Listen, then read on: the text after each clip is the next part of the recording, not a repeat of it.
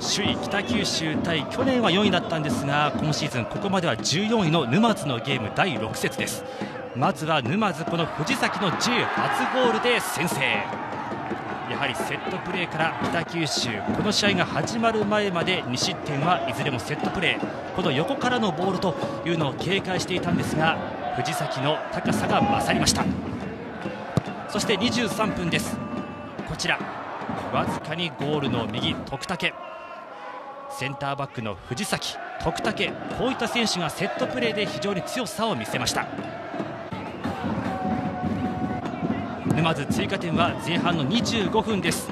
小林監督からイージーミスもあったその言葉があったんですがここでアドバンテージをもらった沼津。左サイドからのクロス。そこを一度クリアするんですが拾った岡のシュート。豪快に蹴り込んでいきました。岡の今シーズンの3点目。今思えば非常に大きなこの2点目ということになりました。そしてこちら北九州町野のシュート。わずかに外れました。J 初ゴールならず。しっかりと巻いてきたんですがわずかに右でした。そしてこれが前半終了間際。菅井スルーしてからそしてシュートを打ってきました。枠を捉えていたかなというところではあるんですが北九州のゴールキーパー高橋のファインセーブもありました。後半です。左サイドからのこのクロス中央で町野が合わせてこの三重川のスーパーキャッチ。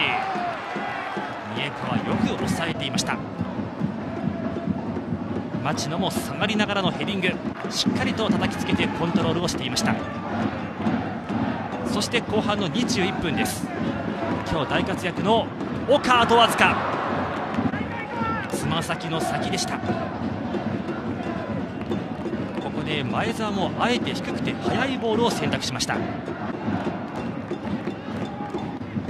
そして北九州こちらが終了間際です。この町野のヘディング。ここは大きく枠を外れました。結果沼津が2対0貴重なアウェーでの勝ち点3を静岡に持って帰るということになっています。北九州は今シーズンの